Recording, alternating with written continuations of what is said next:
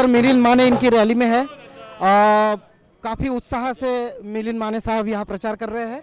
आ, उनसे हम बात करेंगे कि किस तरह से उनका प्रचार चल रहा है। आ, लोगों से किस तरह से ए, आ, रूबरू हो रहे हैं क्या प्रतिशत लोगों से मिल रहा है। माने साहब स्वागत आपका। धन्यवाद धन्यवाद। आपको अभिनंदन। आप दूसरी बार ये चुनाव लड़ रहे हैं। पहली बार आपने एक बड़ी विजय यहाँ पर हासिल की थी। कैसे लगता है इस बार विजय कितनी दूर है आपसे? हम विजय बहुत नज़दीक है हमारे। क्योंकि पहले बारिश से तो हमें जनता से उतना रिस्पांस नहीं ऐसा समझ में आ रहा था।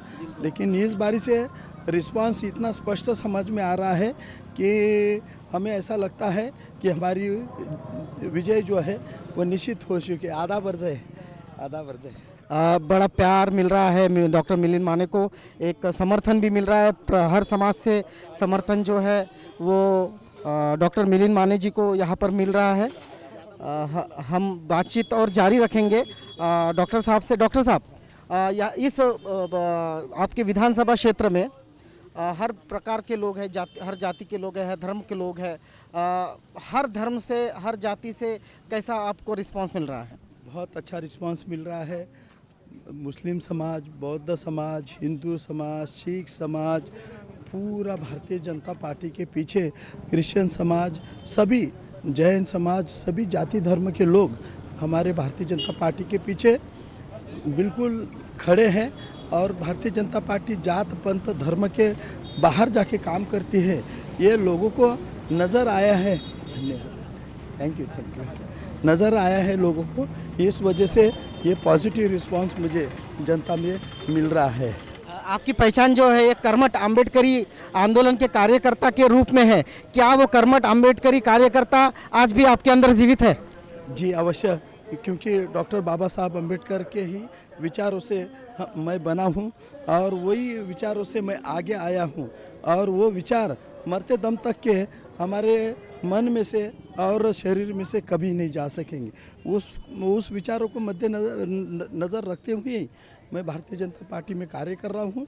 बाबा साहब अंबेडकर के जो विचार थे उसी को ही इधर मैं इम्प्लीमेंट कर रहा हूँ और सभी समाज के काम मैं बाबा साहब के अंबेडकर जी के सूचना अनुसार संविधान भारतीय संविधान के अनुसार ये कार्य कर रहा हूँ और इसी का ही मुझे पॉजिटिव रिस्पांस जनता से मिल रहा है।